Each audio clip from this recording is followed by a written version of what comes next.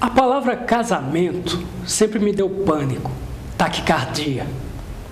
Eu vejo os meus pais, meus tios, avós. Eu não quero ser como eles. Casamento é coisa de doido. Será que eu sou o único que percebe isso? Será que eu sou o único que percebe que casamento sempre dá errado? Ó, para mim, casamento é que nem caipirinha de boteco. Todo mundo sabe que dá maior dor de cabeça, mas todo mundo faz questão de experimentar. Depois que acaba? Depois que acaba, a primeira sensação é de alívio. É. Você relaxa. Ah, é bom voltar a ter a sensação de ser solteiro de novo, sem hora marcada para chegar o mundo inteiro para explorar.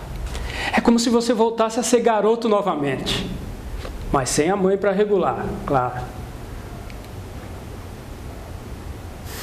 Mas depois vem a saudade.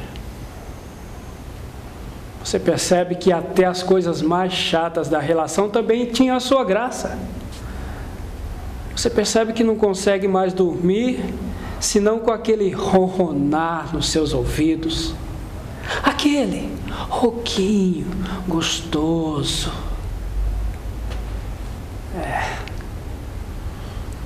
É duro você perceber que perdeu tudo isso.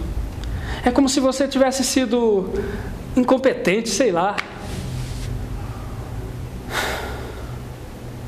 Dá uma sensação de vazio, derrota,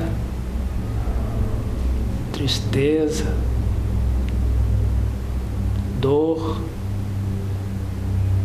Mas o final é assim, não é?